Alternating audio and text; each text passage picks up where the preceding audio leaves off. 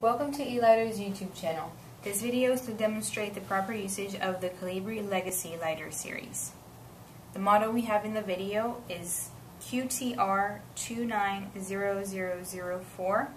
It's a midnight blue rubber and pearlized chrome.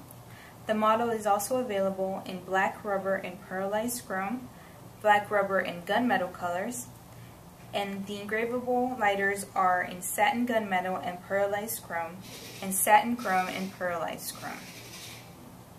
The lighter weighs approximately 2.3 ounces, and the approximate dimensions are 3 inches long, 1 inch wide, and 0.5 inches thick. For the rubber models, it's a nice grip.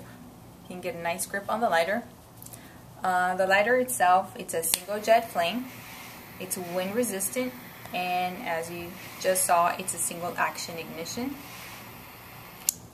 At the bottom of the lighter is where you fill it with butane and adjust the flame towards the plus or minus sign as necessary.